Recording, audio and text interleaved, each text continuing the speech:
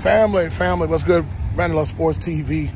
Shout out to the LDBC Lions Den basketball community. Oh, I got a, I got a video ticket. Don't worry about it. I'm, I'm about to, I'm about to clown, I'm flame them Celtics and they fans. Oh, that's coming. Believe me, trust me. Boston Celtics and they racist fans. Yeah, I'm gonna get them.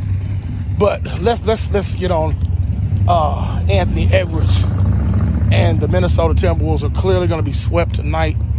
Boston, I mean not Boston. Uh, Boston's already waiting, but uh, the Dallas Mavericks are going to wrap that up tonight. Uh, and I wanted to say this to Anthony Edwards: Don't be discouraged.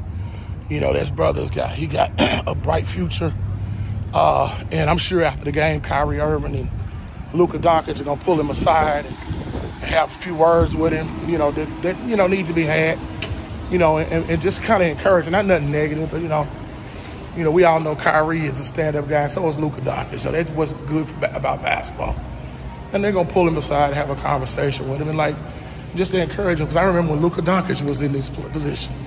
You know, a few years ago, he was you know getting to like the second round of the playoffs, putting up a good performance, but just wasn't quite closing the deal because he was too young. His time ain't come yet. You know, Kyrie, same thing. You know, when he was in Cleveland before LeBron James got there. You know, it's just, you know, he'll get there. His time will come, you know. But, you know, I think he's a little bit ahead of schedule. He's only 22.